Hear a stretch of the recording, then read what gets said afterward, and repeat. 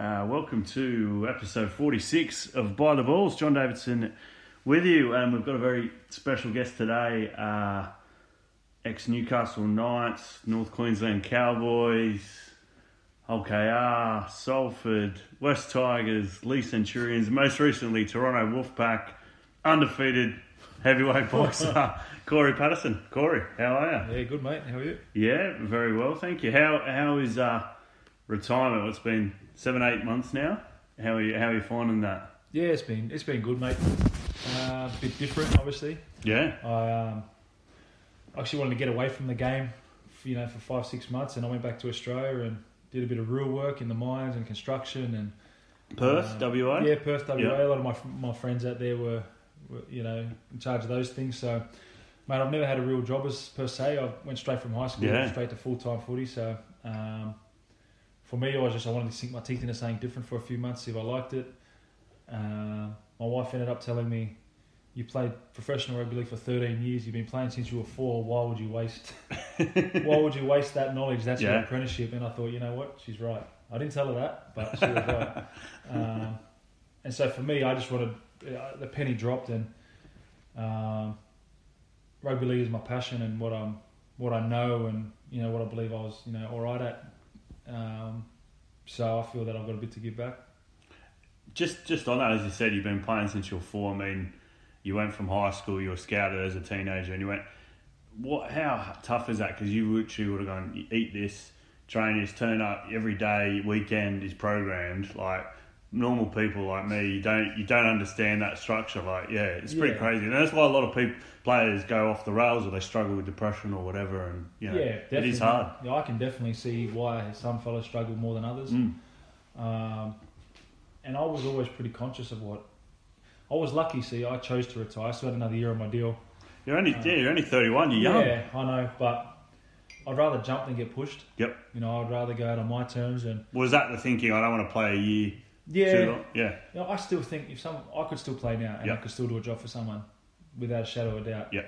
Um, probably for another two or three years, I think. But you know, at this stage of my life with my young kids and my my family here, and I don't know, I just wanted to try something different. And like I've been in it for so long, now I'm enjoying being on the other side of the fence and, and you know coaching and, and that side of it. And like I said, I feel that I've got a vast amount of experience that I can hopefully yeah help you know help teams or help individuals or that's on and off the field too. You know, I feel that I can bring that to the next generation.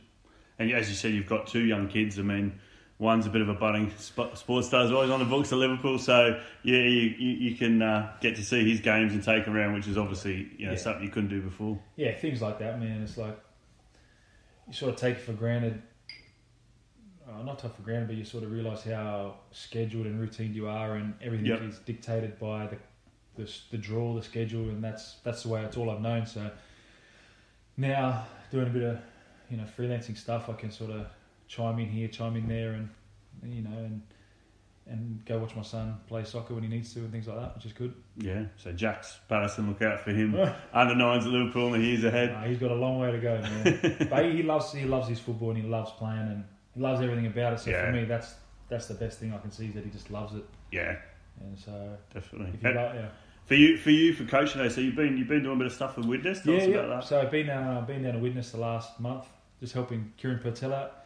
He's um, a good friend of mine and someone who I, you know, I rate as a person yep. first and foremost, but then I rate him as a coach highly as well. So you owned him at Leigh. Yeah, he was our assistant at Leigh, and Purtill, I've always had a good relationship with him, and he's um, I sort of came back from Australia after doing a bit of work out there in the NRL stuff as well, and said, "What are you guys up to?" And he goes, "He's a bit understaffed. He's running the ship by himself out there." And I said, "Oh, can I come? Can I come out and help coach?" And he goes, "Well, do you want to play?" And I said, "No, mate, I don't want to play. I, said, I don't want to play, but I'll come help you coach." And so I've been doing that for a bit, uh, just helping them out, and about to start my level three coaching um, course. Yep. Just going through the, all the paperwork to finalise, get that started. So level three will be good for me. Um, and yeah, just just trying to sort of see what's out there for the for next year and try and get something established there. And that's the aim, you know, head coach. Well, that's the day. thing. I, yeah. I, never thought I had the personality to be a head yep. coach. I'm not a very, I don't really like confrontation or things like that. But I actually had a chat with Trent Robinson when I was in Australia, and he's someone that's coached me for a few years in Newcastle and things like that. And someone I was, oh, I didn't realise. Yeah, that. so I had him for four Oh, years at. Newcastle, and he's someone's opinion that I value pretty highly, obviously, because he's a super Oh, coach and I was watching him on TV yesterday. I mean, just, just a dude, just from I've only interviewed him once or twice, but dealing with the media and Yeah. and yeah, he's one of the best coaches in the world. mate. Yeah, And so to have him as a sounding board for me is a big thing. And Yep. um, I was originally going to stay in Perth and coach the SG ball team. Um, so I was actually talking to him about that and things there. But um, I basically said to him, I said, Robert, look, man, I don't know if I have the personality to be a head coach. I said, I don't know if I've got that confrontational or that letting blokes down if you're not picked this week. He goes, Pat, he goes, look, anyone can be a coach. That's the beauty of it. Any personality can be a coach. He goes, look at me and Craig Bellamy. He's like, Craig has his style, I have my Yeah. style. There's there's different Very styles. different. There's everyone can be a coach, just like everyone can be a player. And for him to say that to me, it sort of gave me a bit of um, confidence and a bit of um, re- reinforcement that you know I actually could be if I choose to pursue it, my personality and things like that would Yeah. actually allow me to to do that. So for the for the time, you know, I, I know. I know I know a lot about the game, but there's a lot of stuff that as players you don't see that head coaches go through. A Well, that- lot. that's you know whether it be recruitment, dealing with the media, salary cap, contracts. Yeah, off-field stuff. yeah. You know, well, that's it. Th- Yeah. the three a.m. call when uh, Exactly. someone's been kicked out of a nightclub or something. All yeah, those things. So yeah. as players, we don't see that. So I'm, I'm under no illusion that I'm, I'm going to walk into a head Yeah. coaching role by no means. But I do believe that I've, I know the game inside out. yeah. I know the environment inside out, and I'm willing to work hard for it. So um, I'm happy to do my apprenticeship for however long that is as an assistant, um, or coaching academy or reserves coming in next year or wherever. I know I've got to do my apprenticeship, and I'm happy to do that. So um, I suppose we'll just see see where it unfolds. And Tell us about some of the. I mean, coaches you've been owned off the top of my head. I mean, Brian Smith, yeah, Smithy. Mick Potter. Mick Potter was Paul a, Rowley. Mick was a legend for me. Yep. He um, gave me my crack at the Tigers, and I don't know. Potsy was just one of them blokes that knew had your back. Um, there was a lot of stuff going on there at the Tigers at the time, and um, I always knew he had my back, and I'd like to think he knew that I was Yep. played played hard for him as well. So he was he was a good one for me, Potsy. Uh, Craig Sandercock, I had at Newcastle and then at KR, who was Yep. who was outstanding for me as well. Um, You had Neil Henry as well. Neil Henry, bit, yeah. bit, bit more of a discipline, of a disciplinarian. school teacher type, Yeah, Um, textbook type stuff. Again, that's his style. Um, now Paul Rowley, I had who, who I got along well with, and, and grew my game as well. So And you had Ian Watson. had what I what I had came in like the the Yeah, probably last three quarters of the season, so for me, and he's going gangbusters, and yeah, he's doing really well. You know, for for a local guy, and not the biggest of budgets or facilities No. or, or stuff like. He's doing really well with that squad, and uh, I think I think his progression as a coach is you know something that lot of English coaches could aspire to. Is like he's come from Swinton and things like that, and now definitely. you know he's got the world at his feet pretty much with coaching. So, mate, there's, I've been blessed to have a lot of coaches and, and assistant coaches. You know that I've learnt a lot and picked their brains, and I can still do that to this day, which I'm lucky to do.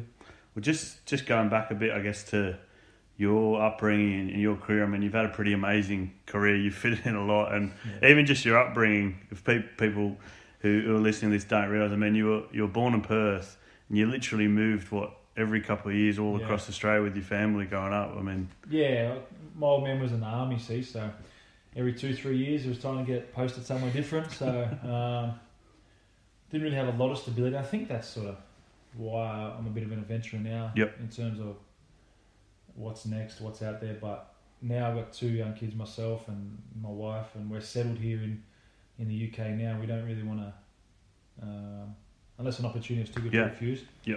You know, I, I want to sort of exhaust every avenue here first. Um, so that's sort of yeah, upbringing was a bit different to normal, but I wouldn't change a thing. so yeah, you went something like Canberra, Sydney, Brisbane. Yeah, so I started playing there. Perth. So I went Perth, Brisbane, Canberra, Sydney, Geraldton, back to Perth, and then I ended up moving to Newcastle when I was 16 by myself.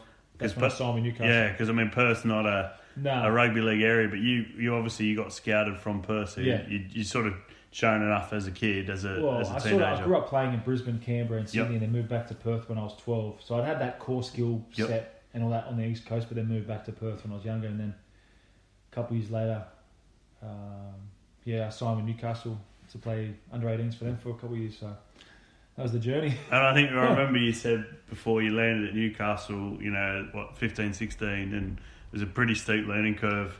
Like yeah, man, you sort of go from the big fish in the small pond Yeah. over there to you know a tadpole in the ocean that is the NRL or the East Coast, and yeah, I was super lucky, man. I, I, I got put in with um, Jarrod Mullen and his family, and they Yep. like they took me in as their own and, and fed me and clothed me and, and give me gave me every bit of support and, and encouragement that I needed. And I don't think for that first year I probably would have went home twenty Yeah. times if it wasn't for them.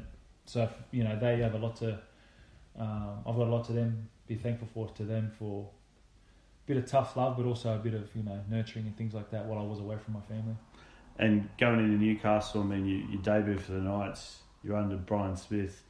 What what was that like making your debut? Pretty uh, memorable against the Dragons. A bit of um, Yeah, bit sick during the game. yeah. yeah. Well, I Explain remember, I remember round one, I was 18th man Yep. against the Bulldogs at home, and Joey got knocked out by Sonny that game. Oh, I remember that. That And I remember, yeah. I remember, I remember being 18th man warming up, and I looked across because in Newcastle you usually both warmed up on the backfield across the car park, Yes. and it was literally about past the hockey ground. It was about 40 Yep. metres big, and we both had to share the warm up pitch. I remember looking over, there was Willie Mason, Mark O'Meley, uh, Andrew Ryan, Reni Maitua, Sonny Bill, Roy Asotasi, and I was thinking to myself, I was only 18, 19, going, no one get injured, no one get injured. I was like, I didn't really, of course I would have keen to play, but I was also a bit like, that's the original Dogs of War. Oh, yeah, yeah, They're now yeah. just nutcases, so. yeah. Um, I looked over and no one got injured, but following week anyway, I remember Smithy rang me up, rang me up and said, um, "Yeah, I'm going to play you this week. You're going to make your debut." I was just like, "Far out, no." it was crazy, man. Just cra I still remember it was yesterday, but it was that game at Oki Jubilee. Yeah, we ended up winning, and yeah, s- s- I played up playing the whole second half in the background and spewed my guts up about ten minutes to go because I was just stuffed and Just on the sideline. No, just did, it was a 20 metre retap, restart, and I chased back to shield the kick, and I came back and we had a tap, and I just had a quick spew, so just a bit of everything, but it was good. But yeah, the emotion, the Emotion, anxiety, everything, everything. mate. Yeah. you know, it was Ah. so good. And I mean, playing alongside Andrew Johns. Yeah, I know, obviously, it was, it was only a few games, a Yeah. lot, but I mean, one of the greatest players Yeah. ever. That's yeah. Wow, what just was the that stuff, just the stuff you learn off the field as well, like Yeah. that, training with him every day, being in the gym with him, all that stuff is probably what I've picked up more, and the way they go about their business. You know, Danny Buderus to me is probably the ultimate professional. Um, I was lucky to play with him for a few years, and how he's such a nice person away from the field Mm. and the training and that, like just the most beautiful person in terms of being a decent bloke. And then as soon as he gets on the field, he'll just throw himself at like Shane Webcke off an Origin kickoff, or he'll just Yeah. no regard for himself or anything, and just just the ultimate professional and just a legend. And you know, I was lucky that I had you know Steve Simpson, those type of guys around me coming through that sort of Kurt Gidley. Kurt Gidley, Yeah. you know that that old school tough. Don't whinge about it, just get on with it. Yeah. Mentality.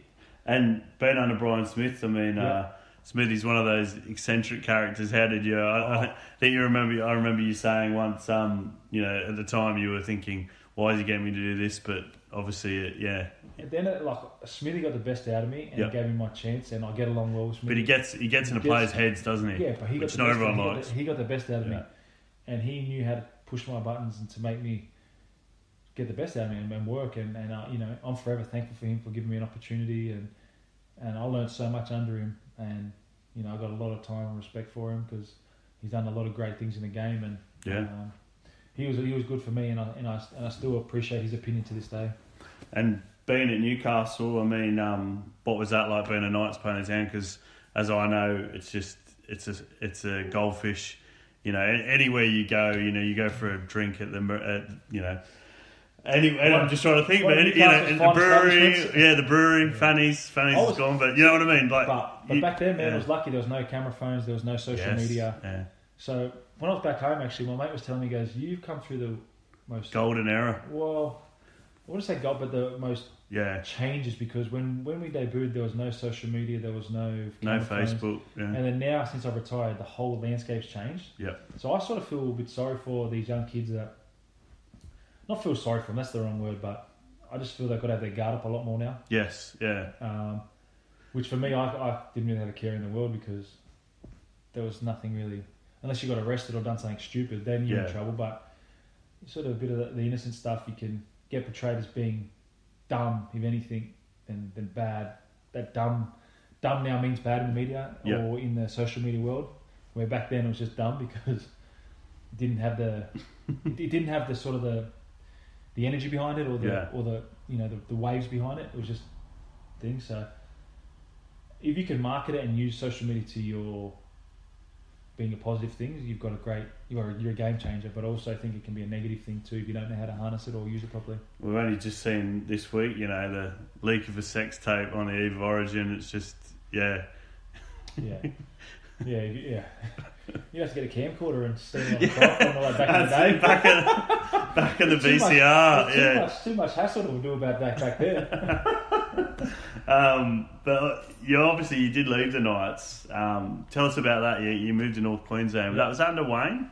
nah, so I left just before Wayne got there. All right. Um, so that's sort of before it all kicked off with Wayne and before- Tinkler and All uh, shit at the fan. yeah, Um, exactly. Yeah, for me, I probably if I didn't get it's a weird one because I didn't really want to leave Newcastle. Yep. But I was too comfortable there too, so it was one of those things that I don't know if I would have left if I didn't get pushed. So it was sort of one of the things where I half got pushed, and that was sort of my ammunition to leave. Yep. Um, so I went up to the Cowboys for two years, which was good. I didn't have the best time, like in terms of footy. You know, I had a lot of injuries, and then my form suffered, and just a lot of shit. Can I? Sorry, I can't swear. No, you can Just- swear. That's all right. That's fine. Just a lot of shit. With, like I've never been, I've never had injuries that bad. Yep. And I'd never been dropped before. Yep. And I was just like, couldn't get my head around it. And so I would have liked to have played more and given more there, but as it that's just how life is. You know. And how was um, playing alongside JT, just Thurston? I mean, yeah. You got you got Joey starting off, and then you got Jonathan Thurston, probably Well, a future, an immortal and a future and immortal. That's, that's the thing now. Like I look back on the blokes I've played with, Yeah, and it's not necessarily like yeah, it's great playing with them, but like I said, training with them every day, talking to them about things that they we do in training every day. people would pay thousands of dollars to have that experience now. That's you why know, I look back, and I'm so fortunate. Probably the two best halfbacks ever to play the game. I've Yeah. played outside them. You know, for, for running off them. Yeah, Yeah, making them look good. nah, nah, you know what I mean. Like those guys are just yeah. once in a generation players. Oh, And, definitely. you know, Matty Bowen, that type of bloke, how he plays instinctively and that, but there is actually a lot of science and method behind why he does things. Um, that's like when I when I coach now, it just all comes out of me. Yep. And I, I knew I knew a lot about footy, but as soon as I start talking about it, and I take a step back and go, that just come out of my mouth, and it's just it's just been Yeah. years and years of been, you know, trying to like doing stuff with edges now. And I talk to the halves because I know what a back rower wants, but also know what the halves want because Yep. I played with the good halves. Yep.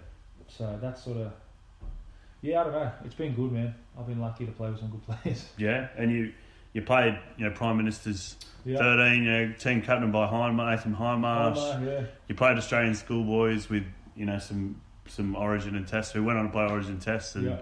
Yeah, Indigenous All Stars as well. Yeah, I mean, Wendell Sailor and you know those guys playing with those guys. playing like we win those All Stars games. Played with like Scotty Prince was usually the halfback and JT was the six. Yep. So they're just very contrasting players, but the amount of stuff you learn off both of them and why they do things and what they want to achieve in the game and why they want to fix that bloke and make that bloke turn his hips and it's just like fire out, man. You just in awe of them. And then I was like our left edge one year was me in the back row, Thurston at seven, Greg Inglis was the centre, and then I think it might have been Jharal Yow Yeh or Yeah, someone like that was on the wing, and I was just like, far out, man, this is unbelievable. You know, just world class players. were you in the first? I was in the first three. I played the first three. I mean, what was because it's obviously it, they stopped it for a couple of years. It's come back this year Yeah. um, with the play the Mary and Yeah, there's there's a sort of a rise of I don't know what the best way to, to talk about the indigenous sort of talk about reconciliation Yeah. and it's mu- much will come. But what was that like the first initial thing? Because that that's you know pretty groundbreaking. yeah. Because Preston Campbell played in our team, and he was Yep. he was the he was sort of the leader, wasn't he? it, and he yeah, was his, his concept. And for him to play in it, and for him to talk about it when we were in camp, and what it meant to him, and um, what it meant to all of us as we all shared our stories, and the fact that our whole motto was based on one brother, uh, one brother bleeds, all brother bleeds. Yep. That's what it meant to everyone. So the fact that it's back now, and um, it's not just about the game, mate. It's about the whole week the whole Yep. the issues around it all. The Yeah. it's so much bigger than a game, and to be a part of it, the inaugural one, and then the following few years was was for me very special. And, and now I think they've done it properly with the with the multi game. I'd yeah, to that see- was that I'd was like to see- fantastic. I'd like to see a Pacific Islander perhaps game. Yeah. Like uh, you could almost go an indigenous with a half Maori, half Aboriginal versus Pacific Islander, Fiji, Tonga, Samoa. Something like that would be cool. But I think they're on the right track for this ne- next few years. The the, the Māoris and the indigenous. I think that's good, man. I think that puts a bit more meaning to it because it's two really good cultures and two um, two cultures that give a lot to the sport, but also the sport gives a lot of opportunity to these cultures as well. And for you, it's your mum. Your mum's English. Yep. Your dad's Aboriginal. Yep, yep. So, what, what what's his sort of connection, uh, tribe wise, or So he's, he was you know, born and raised in the Blue Mountains. Yep. Um, until he moved out and then went in the army, then he's been He's everywhere. been but he's, yep. um, he he grew up there. Um, mum was mum was born here in Liverpool.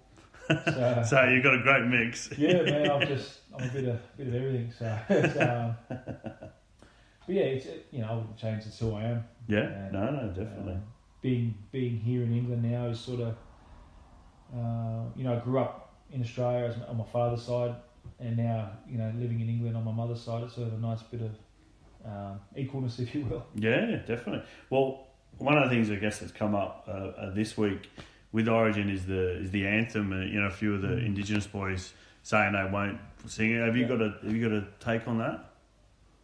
Um, I don't think it's I think it's been. It seems like in Australia, it's been.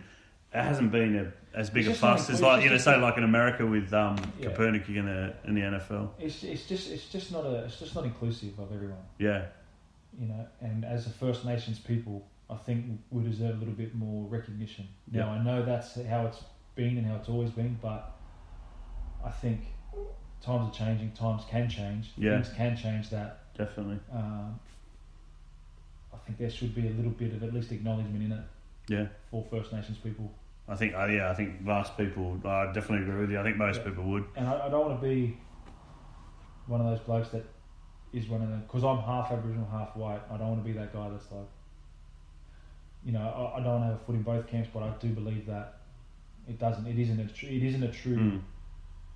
reflection of Australia and And First Nations people. That's So- it. And I think something that should be inclusive. I mean, it's a national anthem. Why you'd want to exclude or alienate a section of the population? especially yeah. First Nations. That's the different thing. Yeah. yeah. That's the whole issue behind is that we're the, we're the First Nations people. That Yeah. should be enough to change it, regardless. And I think- my- in my- yeah. I think one of the good things with rugby league is it's definitely tries to be as inclusive or is trying, you know, particularly with the indigenous community, Yeah. but you know, with women and Yeah, you know, yeah, all sorts of things. Yeah. And I'm not saying you have to change the whole song, but maybe I'm not a songwriter, but a verse just acknowledging it or something. Yeah. Yeah. That's that's all. Definitely. Well, um, just on your, your Cowboys move, yeah, you end up coming to Hull KR. Um, yeah, tell us tell us about that. So how, how was your time there? Sandy was the coach. I had him at Newcastle, and he just said, "What are you doing?" And I just pottered about. He, doing a car- he knew I had an English passport, so he got the head job at KR, and he asked everyone to come over. And I was, I thought I was, I was only 25, I think, at that stage. Um, but yeah, I thought, yeah, I'll go and have a crack. Um, and I, we, it was only myself, my wife, and my son at that stage. And Yep. Really enjoyed it, but my wife had some some pretty bad health issues. Yep. And it sort of hit home. We were over in Hull with no one, no real friends, no real family, nothing. And you know the, the health issues she had, she she had to spend weeks at hospital and things like that. And I had to be the, the man of the house and take her home uh, back to Australia. And And your Yeah. son would have been what a my son was only three, Yeah, yeah, three, yeah. And I got a lot of um, a lot of shit and a lot of slack off the fans there, you know, and that that comes part of the territory, and I and I accept that's part of the territory. But I just wish I could have told the truth at the time that that was the reason why yeah, that I had to be the bad guy in your in the fans' eyes and the club's eyes. I had to be the bad guy, but for my wife and my son, I had to be the man. So for me, that was sort of it wasn't a hard time. It was just you know, as a player, you sometimes just want to come out and defend yourself and defend Yeah. defend your family or defend There's a lot. People don't know. Fans No. don't know what's going No, on exactly. in your it's life. Their or- business, to be fair. yeah, It's a personal true. issue, but I sometimes wish I could just this is what's going on, blah blah yeah. blah, and then just get off my back. But you can't do it, and I accept that. That's the that's the territory we're in, and you know we ended up coming home for a year. My wife got back on track with her health, and then had a fun year at the Tigers, and then ended up coming back to Salford, and that's when the shit really hit the fan because everyone said, "Oh, you went home because you were homesick," blah blah blah. And I, again, I just wish I could have defended myself, but you can't, and that's the territory we're in. But hey ho. yeah, you move on. Yeah, exactly. Yeah. It, it is it is a bit sad, like with the um, Kallum Watkins news that broke last couple of days. I mean, I've been on Twitter about people going, "Oh, he's finished" and all this sort of thing. It's just like there isn't. People say players don't have loyalty. There isn't any loyalty. You know, he, has got a contract yeah. which he, he's owed, and he might not be playing well, but to write him off at 28 and just had a knee recap, man. It's yeah, taking me a year to get better. I mean, he's won how many grand finals? Know, played 20 odd Test matches. He'll probably go if he doesn't get to the NRL. Yeah, he'll come to a Super League club, and he'll just. Yeah, it's going to be bad for. It's just people have very short memories. Oh, it's yeah. Yeah. So. Um, yeah. So. so yeah, you, you go to the Tigers. I mean, wasn't I probably the best with the Mick Potter and nah. then JT and Farah and you know, yeah. there's a lot of stuff going off off there. But you, you come yeah. to you come to Salford and yeah, I love my time at Tigers. I thought it was great. I busted my hand. So yeah, you didn't play. I missed 12 weeks with my hand. Is that your finger? Yeah, that's it. So that's the, I ripped the tendon, so I missed three months right in the middle of the year. Wow. So that's halted me and stuffed me around a bit, and yeah, and I only signed a one year at the Tigers, and I got offered another deal there to stay there, but yep. I don't know, it wasn't worth the worth it, and then sort of came here, came back to England in Salford, and um, the Marwan days. Yeah, Marwan was that, there. That uh, was uh, how, how was that experience? Yeah. Mate, the, we got on like a house on fire. Yep. Um, but as time goes on, and, and you know sometimes results don't go your way, and um, things happen. At the end of the day, it's it's a business. It's a you know, as players, we, we always rip in and we always do our best, and sometimes um, either fans, people in the club, whatever, might not see that. But um, as a player, first and foremost, you don't want to let your teammates down, and you can you can put a heap of shit on a player, but they're never going to let their teammate down mm. or themselves because it's just a pride thing. It's the whole your teammates mean more to you than anything that could be said about you in the media or anything because you're the one sharing the field with them. So yeah, you're the one spilling blood exactly. and yeah exactly. on the field with. So no matter what happens off the field, your teammates, you should always know that your teammates are always going to do their best for you, no matter what the club is is in for that bloke or whatever. It doesn't matter. So at the end of the day, uh, I again I enjoyed it. Met some really good people. Got to play with Adrian Morley. Got to you know play with some great players and things like that. And and you know great a great welcome back to, to, to England, I guess. And you go to Leigh, and again you kind of go roller coaster, big highs, yep. massive lows. I yep. mean, coach sacked early on. Yeah, it's a weird one that because none of us really sort of seen it coming, and then yep, um, you know, we put a lot of lot of um, a lot of players, a lot of staff into that promotional year, and we ended up getting promoted, which was which was mate to me still that's still probably one of the best things I've been a part of. Yeah, living in Leigh. playing with Leigh born and raised players, how much it meant to them. Yep how much it meant to Derek, how much you know effort and money he put into it, uh, and time and that, and then you know obviously the staff, you know, Ando being a lead lad, all those blokes that were part of it, it meant so much to the town, and like for me, I'll never forget that. I thought that was the ground. I thought that was one of the best things I could achieve, and for, for me, that was sort of the grand final I never won, which was yeah, promotion. yeah. Uh, and then yeah, we sort of go into Super League and uh, start pretty well. Yeah, we started all right. Yeah. And, uh, just if the format was in now, we wouldn't have been relegated. When did you finish ninth? no, we finished tenth. tenth yeah. But you know the, the middle eights or whatever, you know, we fell victim to it and uh, ended up being a you know myself and a number of players. Um, the whole the whole contract thing is that you can get your uh, contract torn up. Torn up. Yeah. I still had another year, and man, that hurt. To be honest, that hurt me like because I wanted to stay at Leigh, I wanted to rebuild yep. and get them promoted again next year. That was my plan. Uh, that was a lot of our plans, you know. Micky Higham, who's back there now, and yep. all these blokes who they let go, we sort of will.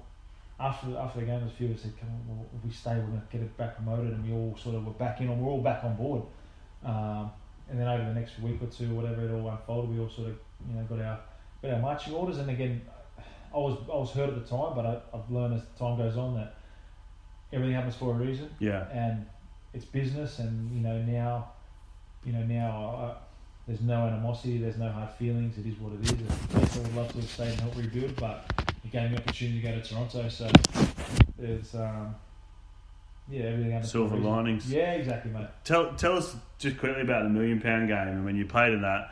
I remember watching it. You guys were up four two at half time. You looked like you're in control, and then yeah, I mean that that feeling because uh, it just Yeah. it, it it did seem pretty like. Uh, Yeah, I'm trying to moves, but yeah, you're just like gut wrenching. Yeah, for, yeah, And I suppose straight away you think, well, right, we've lost, and you think, far out, what's going to happen now? Like there's that uncertainty. It's Mm. like, have I got a job now? Have I not got a job? Do I have to Mm. go look? Do I have to do this? Like, it's like far out. What's next? That's probably the hardest thing was the amount of uncertainty around it. Um, but like, it is what it is, and it's pretty pretty ordinary system. But you're glad to see the back of it by the sounds of it. I don't mind if, if you're going to have the million pound game. I don't mind it. Yep. But the players' contracts need to be guaranteed, or the, Yeah, there needs to be some. I know. So with parachute payments, etc., it needs to go looking after those blokes that lose everything. You know, I lost half. I ended up signing for Toronto for half the money I was on it yeah, wow, because Yeah. because there was no money left. Everyone's kitty had gone. yeah, That many blokes went for half the money or less or whatever Yeah. for an opportunity because the salary caps are all full or quota spots. That's the thing. There's no all, all the recruitment's done by October. Yeah, It's like- yeah, There's no, so so the club will get a 500 grand parachute payment, but then if you've already flipped those, if you've already got rid of those blokes, well then they're out on Mm. the streets. So that's the only qualm I've got is that I think the RFL or whoever's in charge can put that like whoever gets relegated this year, Hmm. I think they're that whoever whatever the club wants to do, they get relegated. They need to make sure that if they're flicking blokes, they get compensated in some. Well, that um, with no union, effectively that there is Yeah. a union, but there isn't really a union. yeah, It just players, yeah, it just get you know used and abused. I, I see over here compared to the RLPA in Australia, where yeah. it's so so powerful. Yeah. You know, players get treated you know very fairly. Yeah, Yeah. it's just different, mate. Just different manpower and resources and whatnot. But uh, yeah, I don't mind promotion and relegation, but I just think the relegated team needs to be looked after a bit better. So you you go to Toronto when obviously you know Paul. Yeah. The whole Toronto experience. Tell us tell us about that because you you went over to, to Canada I think when you were injured and did a lot of promo work. I mean, yeah. What what what was the whole experience like? Man, I loved it. It was such a good way to go out. Like, Yeah, your last your last year. Yeah. like how passionate and how much they embrace it over there. Like Yeah. nine, ten thousand there now. It's just amazing, and the city's beautiful. The people are beautiful. The food's great. Uh, it's just a awesome, awesome place to be a part of. And I just wish some people would just buy into it and just not be so negative about it and just embrace it because they're here. Yep. They're here to stay for the immediate future. So whinging about them and that isn't going to solve anything. It's like this Ottawa and the New York bids and that. Don't whinge about it. Just get on with it and enjoy them because it's not whinging about them and, and running them down. It's just it's not going to prove anything because they're here to stay pretty much. Yeah. that that game experience at um, in Toronto. Yeah. Tell us about it because I I haven't been, but you watch it and it's like it's like like rugby sevens, isn't it? Like everyone's Yeah. on the piss and So there's like- beer tents Yeah. and it's not it's not like a normal rugby No. league game. Yeah. And it never rained once. The 12, 13 games played, it. It always it always looks warm. So Yeah. it's like you go there. We play at four thirty on Saturdays. Now, Yeah. I think the beer garden opened at four or three thirty at the one of the ends. Yeah. So that opened. You'd be in warm up, and everyone would be charging, having beers and that. And you play a game, and the, we finish like six thirty, and then that beer garden would stay open until I think maybe seven or six thirty. So everyone goes there. DJ. DJ, everyone goes there, has a few beers, and just in the middle, there's a game of footy. Yeah. then they go back to the drinking. It's like, it's just so North Americans know sport. They know how to put on. Yeah. games. And that's the difference is that you can go to a game here.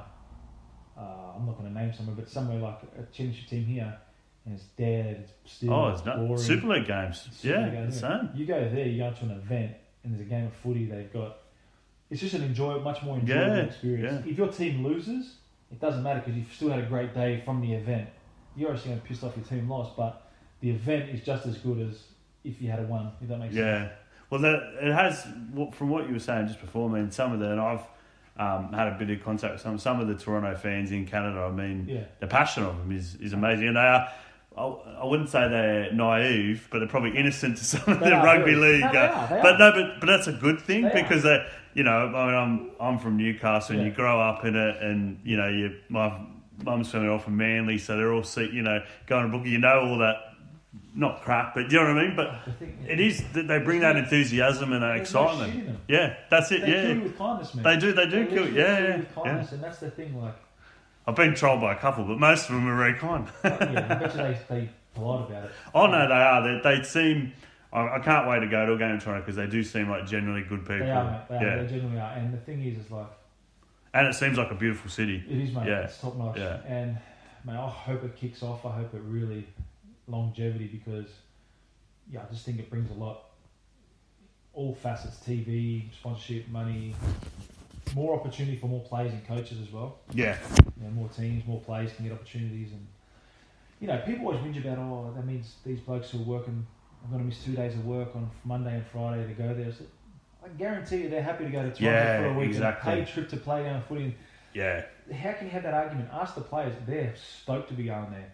Yeah. Would you would you like to go to Barrow or no offense, you know, No. Batley, or would you like to travel to one of the best cities in the world and no you know, yeah, yeah. No It- brainer. and that's that's what rugby league, well, professional sport, you got to offer players those opportunities. Like, what what are you what are you in it for? You Yeah. know, for the experiences. Yeah. And just on your time though, at that season, was it the first game you break your hand? Yeah, so You, you take. Oh, I remember watching this. You take a ridiculous intercept and you run about sixty meters and score. You, lady. Something, give, give me a bit more. the slowest back, slowest back row in the comp. No, but I mean it was Oh, outrageous. catch me, mate. Oh, That was outrageous intercept try. Yeah. Oh, well, I said to Benny Reynolds after the game, I said, mate, if you had put a grubber in, there was no chance of getting it. But you've played to your strength because I'm tall. That was all it was. I can't bend down that low to get a grubber, but I can jump higher. That's about it. Um, yeah, I, that was one of those games, man, where I learned that. And that was that was a real like because of because it was Leigh Yeah, and obviously there's so many ex Leigh players in Toronto. It was quite was bitter. When I scored that try, Yep. I ran to the north end to score it, and that's where the fans were. And as soon as I scored that try, I put my head down. I didn't want to celebrate. I didn't want to Yeah. give them any ammunition just because I've been. I, I didn't want to disrespect anyone. Yeah. Yes, it hurt me getting uh, let go, but I didn't want to disrespect anyone, especially the fans on that end. So I straight away put my head down, and everyone came in and you know c- celebrated that. But that was one thing that I did. I, I, I wanted to carry myself in a manner that I could look back now and be proud of. Yeah. I didn't want to layer up and carry on and give them the big what or whatever. I just wanted to go about my business. And for me, it was just business. That's all it was. Yeah. There was no emotion. There was no nothing. It was just business. And you know, I still live in Leigh. Um, Well, that's what I say. I mean, Yeah. you, if you, if you didn't have an affinity with the place, Yeah. or you know, you wouldn't you wouldn't I've be still, living I've here. still got an affinity with, with the with the, the Leigh club. Yeah. Because the promotional thing. Yeah. I still love the t- like I still love the town. Live in the town. I don't. Yeah. We don't have any plans of moving. Yeah. So I didn't want to disrespect anyone, you know, or or the. I didn't want. I didn't want to tarnish my name either by ruining uh, ruining the good work we've done Yes, two years yeah. before Yeah. by being a dickhead. Yeah. No, no, no, no, definitely. But you, yeah, you injure your hand, Yeah. and you still, Yeah, still. it's what did you actually do? What did you do? So I, I, I tore the ligaments in my wrist there, so now it's fused, so it doesn't go backwards. It just stays like that. And goes wow. like that. People can't obviously see, No, but, know, but you yeah. can't. You can't. Wow. So like trying to open, like push a door open, I've got to use my knuckles to push it open, or use my right hand. And this, this is, pro- yeah, this sucks, man. It just day to day stuff hurts, and every game when Well, I'm that- coming back, Tell us, tell us about that. So you what, 12, 13 years. You've obviously got that finger and your right hand that's yeah, that's that's fucked, fused now. I've basically. got my thumb that's fused, the big plate. Yeah, take us through the injury. Oh, yeah. No, no, seriously. How many surgeries or you know injuries have you had? So in 13 years, I've had both my ankles cleaned out, both my knees cleaned out. I've had a hip arthroscope. I've had a shoulder reco. I've had my thumb reconstructed twice. That tendon fixed, and now that on the other finger tendon fixed. That was the same injury on that wrist, and now my wrist fused. Wow. So for me, it's like my body's a bit of a mess, but I wouldn't change a thing because it is what it is. It means that I had a dig, and But that's that's why, that's, that's why my son's playing football. yeah. but people don't. Most people don't realise, No. um, you know, the, what you have and what you have to put your body through. Um, think, like- the sacrifices. And Yeah. like when I came back with my wrist before every game I was having uh, local anaesthetic, like just local painkiller. Just to get through the game. So every game, the last twenty odd games or whatever it was, just to play, and I was just, I hate needles at the best of times, and I was just like over it. I was sick of being a pincushion, and that little things just started adding up. When I was younger, I was I'd have a sh- needle in my, my AC joint, my shoulder, or Mm. whatever, and he's like, yeah, yeah, it doesn't matter. I'm a young man, I can smash it, still go hard. Now I'm like, stuff this, man. I hate needles. I'm just over it. I And used you to got- get my needle done before a game. It's like this sucks. you got another 40, 50 years ahead of you. And yeah, and that's, the thing, you know. So I don't want to be completely wrecked. Well, there, that's the thing. There, there are people out there, you know, whether it be dementia from head knocks or whatever, you know, can't walk or, Yeah. you know, it's a tough game. Like, Yeah, like Harrison Hansen, he's probably one of the toughest blokes I've ever played with, and his hands and wrists are a mess. yeah. But he's just too tough for his own good. He's just a fucking fruit, just off his head. I'm with him at Widnes now, and he's just, I'm in awe. I don't know how he does it, but And yeah. So he just still does it, mate. Yeah. in Toronto, obviously, you were, you were, I think, injured for the. Yeah, I mean, um, tell us obviously the second million pound game. I think you were injured for the Yeah. Toronto one, but you were. Were you there? Were you in yeah, I was Toronto? there, yeah, I was mean, yeah, just one of the things. one of the worst games of footy ever, and everyone Yeah. expected Toronto to win, and yeah, would have been just gutting again. Yeah, it wasn't nice, mate, but I truly believe that that was the best thing that could happen to him as well. Yep. Hindsight, looking back, I feel that I think I think I think they got a better squad this year. I think They seem a different team watching them. I Yeah, they got a better squad. I think the off-field stuff in terms of like um, the office staff, the marketing, all that Yep. stuff's got another year of experience. The ground staff, everyone, everyone's got a whole another year of experience before the big time. And I just think that'll help them um, in the long run. I think it's probably yes, it hurt at the time, but I feel that also it's probably a blessing in disguise too. Do you think this year? I mean, obviously it's another one-off game. If they if they get to the final, but you think this year will be the year they get up? I can't really see. Yeah, they do. They do seem a class a class above. I mean, anything can happen in a one-off game, as we know, but Yeah, they yeah they do seem to have sort of a, a harder edge and, and defensively just you know so Where's much better. game played. Is I haven't seen that confirmed. I, there was talk of Headingley, but I don't think it's been actually Oh, announced. Yeah, because I mean, you've got to think if you win the, you know, win the you're the top ranked team, you win the major yeah. team, you get to host it. But yeah, yeah, I don't know. It's hard to see. It's them and daylight second. yeah. But Toulouse have knocked them off. Um, they knocked them off over there. Well, no one would have tipped London last No, year. I mean, you know, It's a one-off thing, mate. And, yeah, um, that that that back end of that year was pretty tough. We were in Toronto every other weekend. Yep. So we did a lot of flying. In the eight nine weeks, we did a lot of flying. Um, I'm not saying that's an excuse, but we- there was a long two months. So yeah, I think it's happened for a reason. But and you think if if they can get into Super League next year, that'll just sort of kick it to another level. You, you think in terms of crowds and and the attention, and you know, I mean, if you've got a thousand Leeds fans or a thousand Wigan I fans think, if they thrown keep, I over, think they keep winning, yes. yeah, That's, that's going to be the challenge. Is that they've lost only a couple games in the last few years.